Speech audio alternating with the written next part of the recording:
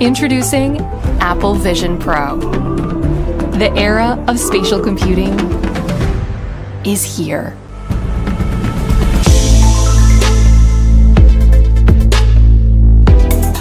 Kabul ediyorum. Ben teknolojiye biraz fazla heyecanlanan birisiyim ama hakikaten bu sefer karşımızdaki bambaşka bir şey. İnanıyorum ki iPhone ve Tesla Model Y'den sonra karşımıza çıkan en önemli ürün inovasyonlarından bir tanesi bu.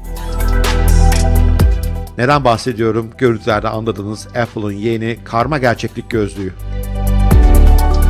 Mesele bu gözlüğün teknik özellikleri değil ki onlar da çok heyecan verici. Asıl konu bunun fiziksel dünya, dijital dünya ve biz insanlar arasındaki etkileşimi tamamen değiştirecek bir platform olması. Ve bu platformu Apple ismine, geleneğine uygun şekilde öyle bir tasarlamış ki diğer sanal gerçeklik gözlüklerinin hiçbirisiyle ilgisi yok. Peki bugün ne yapacağız? Bugün biraz teknolojiden bahsedeceğiz, kullanım alanlarından bahsedeceğiz ama daha da önemlisi bunun finansal potansiyelinin üzerine gideceğiz. Çünkü inanıyorum ki bu ürün yavaş yavaş geliştikçe ve toplum tarafından daha fazla kullanıldıkça bilişim dünyası tamamen değişecek ve Apple bambaşka yerlere doğru ilerleyecek. Hazırsanız bu müthiş teknolojinin doğuşuna gelin beraber tanıklık edelim. Tim Cook'un döneminde Apple'da inovasyonun biraz yavaşladığını düşünüyor olabilirsiniz. Evet, kol saatleri ve kulaklıklar girdi hayatımıza. Her ikisi de kategori lideri oldu ve büyük başarı kazandı. Ama ciddi bir platform ürün uzun yıllardır Apple'dan gelmiyordu. En son yanılmıyorsam 12-13 yıl önce iPad'le tanışmıştık. O da Steve Jobs'un dönemindeydi. İşte bu anlamda Tim Cook dün şeytanın bacağını kırdı ve bizi devasa bir ürün platformuyla karşılaştırdı.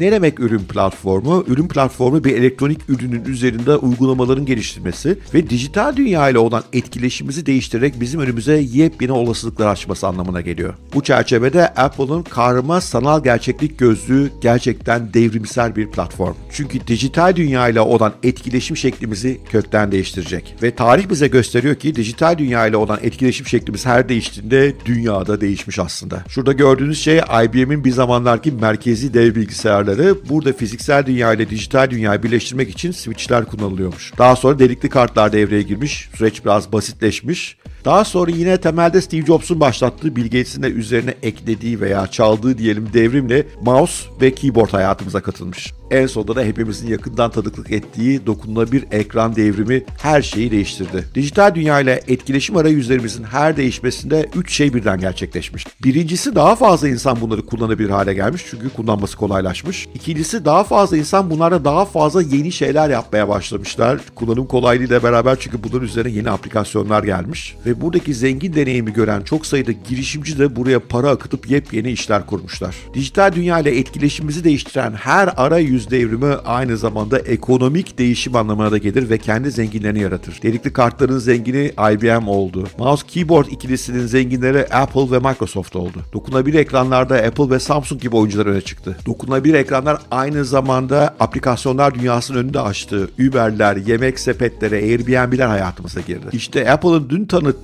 ürün de bu boyutta bir dijital etkileşim devrimi anlamına geliyor. Şimdi bazınız diyebilir ki hocam Apple bu konuda geç kalmadı mı? Zaten çok sayıda karma gerçek gerçeklik, sanal gerçeklik gözlüğü var ortalıkta. Burada Apple'ın tarihine biraz bakmakta fayda var. Apple çünkü genellikle yeni ürün kategorilerine biraz geç gelir. Apple dijital kol saatlerinde, iPhone'da, iPad'de hep geç kaldı aslında. Ama ne yaptı? Harika bir ürünle ve harika bir tüketici deneyimiyle geldi ve pazarı domine etti. Böyle baktığımızda Apple aslında kendine yeni domine edeceği bir pazar yaratıyor da diyebiliriz. Ve Apple buna çok uzun zamandır hazırlanıyor. Bir yandan dev R&D çalışmaları var. Yanılmıyorsam 4000'in üzerine patent almışlar. Bir yandan da zaten mevcut ürün gamlarında gözlüklerin başarılı olması için gerekli temel teknolojik unsurları çoktan tanıtmışlar. iPhone 12 Pro'dan beri hayatımıza katılan liderle mekan tarama ve bir yandan da mekansal müzik kulaklıkları Apple'ın buraya olan hazırlığının bazı parçacıkları. Apple'ın bu uzun vadeli stratejik kurabilme, bunu uygulayabilme becerisine de hayran olmamak mümkün değil gerçekten. Peki nedir bu cihazın özelliği? Neden mevcuttaki cihazların hiçbirine benzemiyor? Neyi değiştirecek? Gelin şimdi bunun detaylarına biraz girelim.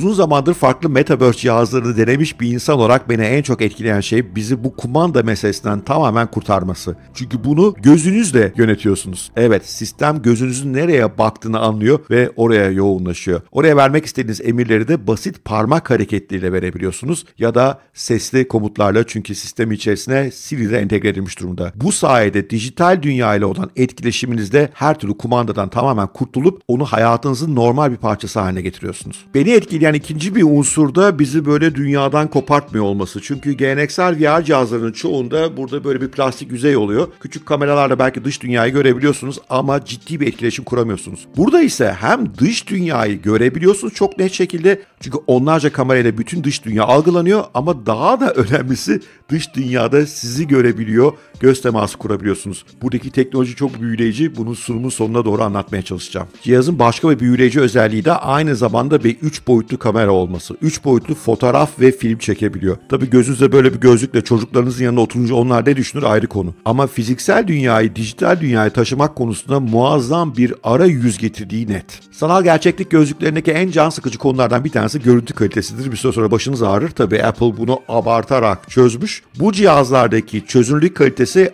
iPhone'un 64 katına ulaşmış durumda. Zeiss mercekler kullanıyorlar. Tabi ben deneyimleyemedim ama deneyimleyenleri izledim. Hepsi görüntü kalitesine inanamadıklarını söylüyorlar. Bu tabi çok motive edici bir şey. Ve bir yandan da bir gözlüğünüz varsa gözlüğünüze göre de adapte olabiliyor. İçinde Zeiss lensler var.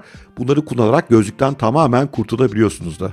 Kafanıza gözlüğü taktınız görüntü de harika ama ses de önemli. Bir film izliyorsanız sesin içine katılmak istersiniz. Burada da mekansal ses teknolojisini kullanıyorlar. Zaten uzun zamandır AirPod'larda bu teknoloji geliştirmişlerdi. Teknoloji aynı zamanda mekanı anlayıp ona uygun bir eko da geliştirebiliyor. Akıl almaz gerçekten. Beni en çok çarpan konulardan bir tanesi de deneyimin derinliği. Mesela burada bir aplikasyonu kullandığınız zaman mekanı içinde o aplikasyon gölge bırakabiliyor mekana. Akıl almaz bir şey. Yani fiziksel dijital birleşimine bu kadar enteresan bir dokunuş getirmelerine hayran kaldım diyebilirim. Tabii bütün bunlar onu doğal bir ev sineması cihazına dönüştürüyor. Evet tek başınıza seyredeceksiniz belki ama on binlerce dolar harcanacak ciddi bir ev sineması sistemini 3500 dolara, bu da ucuz sayılmaz ama sadece 3500 dolara evinizde hissedebileceksiniz. Ekranı istediğiniz gibi büyütüp küçültebiliyorsunuz, 180 derece hale getirebiliyorsunuz. Evinizin veya içinde bulunduğunuz mekanın bütün atmosferini filmdeki ambiyansla birleştirebiliyorsunuz. İşin üzerine ses kalitesi, görüntü kalitesini bilince ev sineması sektöründe ciddi bir yıkım geleceği net. Zaten bu meseleleri biraz sonra konuşacağız. Ama daha da güzeli sadece evde yetinmeniz gerekmiyor. Uçak sineması da olabilir. Dış mekanda da film seyredebilirsiniz. Valla sırf bu özelliğinden dolayı bu cihazı alabilirim. Çok seyahat eden birisiyim. Çocuk gürültüsü, etrafta hoşlanmadığım insanlar tak bunu kafana. Harika bir dünyaya gir. Bütün atmosferini değiştir. İnanılmaz bir film seyret. Oyun meraklıları da unutulmamış. Kumandanızla dilerseniz burada oyuna katılabiliyorsunuz doğrudan. Bunlar arasında yanılmıyorsam entegrasyonlar getirecekler. Ve denemedim ama deneyenler diyor ki inanılmaz insanı içine alıyor. Adeta o oyunun içerisinde sen de basketbol oynuyormuşsun gibi hissediyorsun diyorlar. Tabii bütün bu eğlenceli özelliklerin yanı sıra aynı zamanda bir çalışma ortamı. Çünkü biraz sonra konuşacağız. Bu çok güçlü bir bilgisayar. Bu tek başına dev bir bilgisayar. M2 çipler var içerisinde. Bunun içerisinde özel bir işletim sistemi de geliştirmiş. Buna özel bir Safari de geliştirmiş. Böylece internetle olan etkileşiminizi kökten değiştirmişler ve evinizi bir dev çalışma ofise dönüştürmeniz mümkün hale gelmiş. Daha da ötesi Apple'ın mevcut aplikasyonlarının tamamı burada çalışıyor. Mesela Keynote üzerine bir sunum hazırlamak istiyorsanız harika şeyler yapabiliyorsunuz. Buradaki demoda izleyebilirsiniz. Çalışma hayatının önemli bir unsuru olan toplantılar, beraber takım çalışmaları buna uygun bir sistemde var. Çünkü burada FaceTime görüşmeleri yapabiliyorsunuz. Arkasındaki teknoloji gerçekten büyüleyici. Bu arada biraz sonra detaylarına gireceğiz. Karşı tarafta böyle bir cihaz olmasına gerek yok. O normal cep telefonundan katılabilir.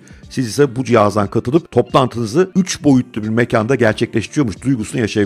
Ben daha evvel bütün bunları Oculus'ta denedim. Pek iyi gitmemişti açıkçası. Burada bambaşka bir deneyim var gibi. Tabii Apple deyince entegrasyon geliyor akla. Burada da mesela laptopunuza kolayca entegre olabiliyor. Laptopunuzun küçük ekranını dev bir ekrana dönüştürebiliyorsunuz. Bütün Apple aksesuarları, klavyelerle vesaire entegre olabilen cihaz var karşımızda. Apple burada biraz kendi ayağını sıkıyor galiba. Dev ekranlara para harcamamıza artık gerek kalmayacak. Biraz önce izlediğimiz videoda şuna kafanız takılmış olabilir. Ya siz görüntünüzü karşıya nasıl aktarıyorsunuz yüz yüze yüze görüşmelerde. Görüntünüzü aktarmıyor. İçeride binlerce kamera var. Onlar sizin yüzünüzü tanıyorlar ve karşıya bir avatar görüntüsü aktarıyor. Biraz ürkütücü gibi gelebilir kulağa ama böyle bir çözüm getirmişler. Çünkü burada uzaktan kendinize tutabileceğiniz bir selfie kamera yok. Ve beni en şaşırtan özelliklerden bir tanesi de göz teması kurabiliyorsunuz. Karşı tarafta sizin gözlerinizi görebiliyor. Daha doğrusu öyle sanıyor. Çünkü aslında öndeki yine bir ekran. O ekrana gözünüzün görüntüsünü yansıtıyor ve karşı tarafla etkileşim kurmanıza yardımcı oluyor. Eğer toplantıya ilginizi kaybederseniz o görüntü kararıyor, flulaşıyor ve karşı tarafla olan ilişkiniz kesiliyor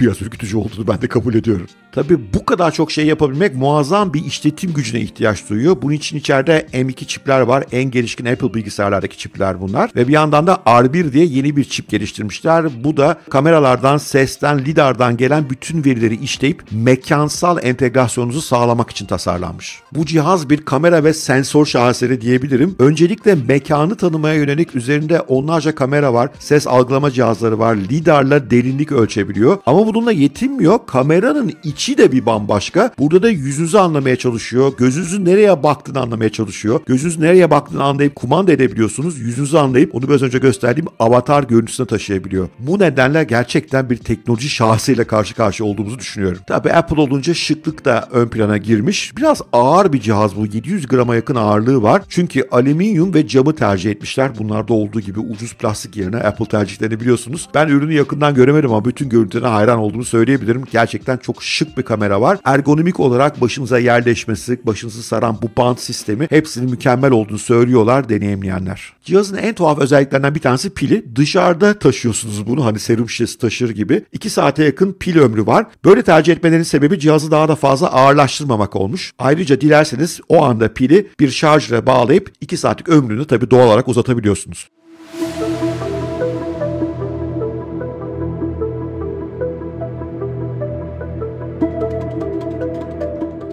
Evet bambaşka bir ürün var karşımızda. Dijital dünya ile bütün etkileşimimizi değiştiriyor. İşte, eğlencede, çocuklarımızın filmini çekerken, birileriyle sohbet ederken, bir yandan sohbet edip bir yandan iş yaparken bütün bunlarda bambaşka bir dijital etkileşim aracıyla karşı karşıyayız. Ve bu araca ulaşmanın maliyeti işte ucuz değil 3499 dolara satılıyor. Şimdi ilk bakışta amma da pahalı. Kim bunu alır ki? Kim yüzüne bunu takar ki diyenleriniz olduğunu tahmin edebiliyorum. Öyle bakmayın. Çünkü burada yeni jenerasyon bir platformun ilk ilk versiyonunu görüyoruz. Apple zaman içerisinde bu ürünü mutlaka geliştirecektir. Ürünü böyle biraz erken tanıtmalarının temel sebebi de bir önce yazılımcılar gelsinler kendilerine katılsın istiyorlar. Çünkü bu teknolojiyi kullanacak aplikasyon geliştirmecileri aslında bu ürünü zenginleştirecek.